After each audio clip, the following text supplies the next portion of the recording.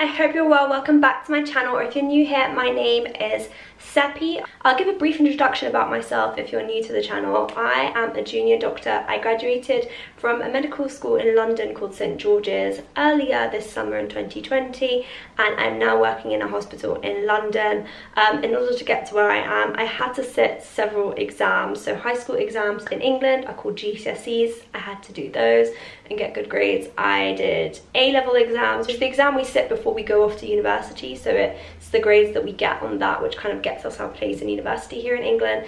And then in university, I sat a bunch of exams in order to get my medical degree. So I think by this point, I kind of know a thing or two about revision. And I just want to share my knowledge with you guys because this is probably the most requested video and the most requested DM I receive is how to study. And a lot of you guys message me saying, how can I study for GCSEs? How can I study for A-levels? And how can I study in university? So I'm going to cover all of that because I feel like it's the same methodology for all of them. I'm going to try and be as efficient as possible. I don't want to like blabber on for ages. So I've written down everything that I want to talk about with you guys on my phone. So I'm just going to go through it one by one.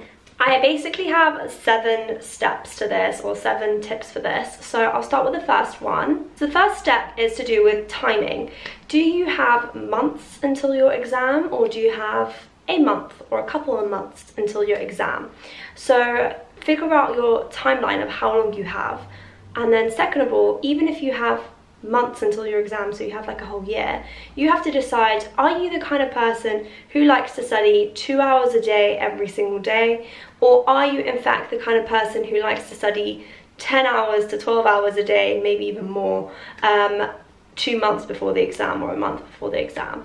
I personally am the latter and I have a feeling that a lot of you guys watching this video are also the latter because people like me who um, prefer to study mostly in the last two or three months leading up to the exam usually question themselves more because they look at the people who are studying throughout the year and think I just couldn't do that. The reason why I don't like studying two hours a day throughout the year is because I feel like by the end of the year I would have forgotten everything that I studied at the start of the year and so it just wouldn't be efficient for me and I just would always be worried that I've forgotten everything. So I much rather study like 10 to 12 hours a day. Honestly, there were days where I'd study 16 hours a day. It really wasn't uncommon for me.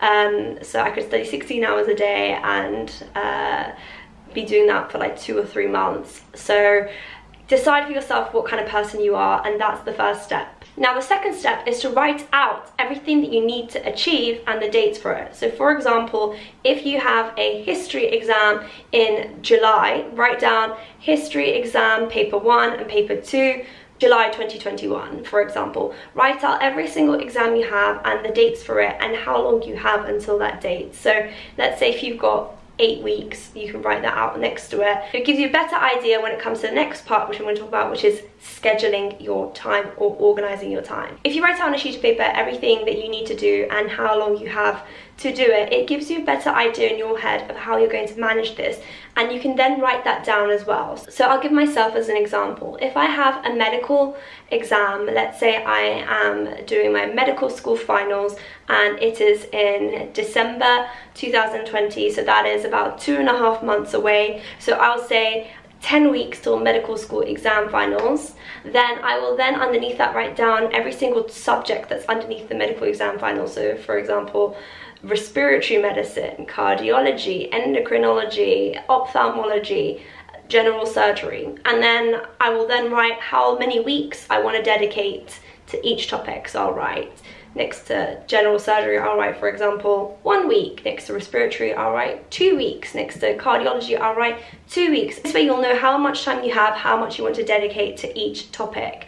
And it gives you a better idea in your mind when you look back at this if you're running on track with this or if you're kind of too far behind or if you're ahead of schedule, it's really good to give you an idea of where you are with your revision. Now, when it comes to actually getting down the revision, I think it's really important that you set yourself daily goals. So every night before you go to sleep, write a list of everything you want to achieve the next day. I still do this to this day for just daily life activities.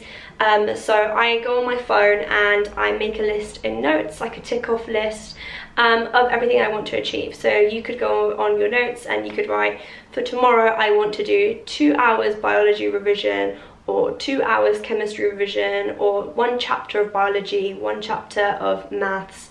So decide for yourself what is feasible for you and write it down so that you make sure that you achieve it in that day. When you wake up the next day, check your list in the morning, then go ahead with doing the list and then at the end of the day when you're done make sure you check the list and see what you did achieve and what you didn't and why you didn't. Maybe you were overshooting and thinking that you could do much more than you could. Maybe the subject was harder than you thought it was. Maybe you were just having an off day. But make sure you reevaluate because it makes your list more and more efficient every time. And when you get your list things on your list done it gives you such a better feeling of achievement and it makes you much more motivated in order to actually study. Now the fourth most important tip is to figure out how best you learn. Are you a visual learner? Do you learn from watching YouTube videos, sitting in a classroom and having a teacher draw things out on the board, um, drawing spider diagrams? Are you an audio learner? Do you learn better from hearing, so just listening to people? Um, are you the kind of person who can read something and it can just and can understand it much better than someone talking to them. So decide, are you a visual learner? Are you the kind of person who likes to read? Are you an auditory learner? Um, do you like to do spider diagrams? Do you like to write? I personally like to write things down. If I don't write it down, I haven't got that engagement between focusing and my hand moving and it going into my brain so I don't learn. And I actually had a talk in my first year of university by a neurologist who said that people who take notes um, whilst learning are much more likely to be able to remember that information later on versus the kind of person who just sat there and listened. But decide for yourself because maybe if you're sitting and focusing on listening to um, the lecture or listening to the YouTube video explaining your topic to you, you're much more likely to learn and engage than if you're you're busy writing. So decide for yourself how you learn best and use that to your power. So if you are the kind of person who learns best from uh, visual stuff, then make sure you go and watch lots of YouTube videos um, about learning your topic of choice or make sure you listen harder in the classroom um, because it will definitely help to speed up your revision process. Fifth thing I wanted to talk about is note taking. I think when you take notes, it's really important to um, make it as appealing to read for yourself as possible. So make sure that you don't write too much. So just highlight the most important key things. Um, make it colourful. I think using coloured pens or highlighters, if you're like me, I can't be bothered to swap pen colours. So I just write my notes and then I reread it and highlight the important bits. Um, and third of all, using, using visual aids like spider diagrams. These can all help with not only learning the information at the time, but if you want to come back to your notes. I've got my notebook here from when I was in medical school, and I've just literally flipped open halfway through. These are some psychiatry notes. So as you can see, I've got a lot of colour. I've got really small handwriting, some of you might have larger handwriting, so it might seem like I've got so much on the page here for you guys, but um, for me, this seems like a good amount of work on the page. I've obviously flipped my book uh, horizontally so that I can fit more into my spider diagram. And pretty much the whole um, book is like this. It's quite a thick book, but this is how I learn best. So um, yeah, that's definitely one tip. Also another tip is keep all of your notes in one place. So I've got I got this book in uni. It's like these dividery books. So you can divide it by each topic and all of your notes are in one place so you can just flip through and in between and they're all in one place so you don't waste time going around and looking for looking for notes. And then the last tip I have for successful revision is practice, practice, practice no matter what exam you're taking, usually there is some sort of online past paper resource or some sort of online question bank or books with practice questions in them, the more practice questions you do once you've done your revision, the more prepared you'll be and the more similar it will be to your exam. So you'll be much more focused and in tune with how to answer your questions and relate the knowledge you have to these questions. So practice, practice, practice. If there's one thing you take away from this video, practice, practice, practice. Write it down in the comments, practice, practice, practice. Just don't forget that that really helps. There's no point doing questions if you haven't done your revision, but let's say you do uh, chapter one of maths and there is some questions at the end of it. Um, if you do those practice questions, you have to consolidate in your memory what you've just learned. So it really, really helps. Now the last few things I'm going to talk about are all about motivation and efficiency. So loads of people ask me how do you motivate yourself to study and how do you remain efficient because sometimes I just can't be bothered. The most important thing to take from this is to recognize when you are tired um, and to take a break because sometimes we think we sometimes we go too hard and we get tired and we're like I just need a break now. So if you if you schedule your breaks so for example you say um, after 10 o'clock I'm not studying anymore. I'm gonna take that time for myself and watch movies and not feel guilty about it um, but I need to work before 10 o'clock then that will definitely help you to kind of feel a balance of not having burnt out. As well as taking breaks, I think it's important that when you are studying, you give it your full attention. The easiest way to do that is to chuck this thing away.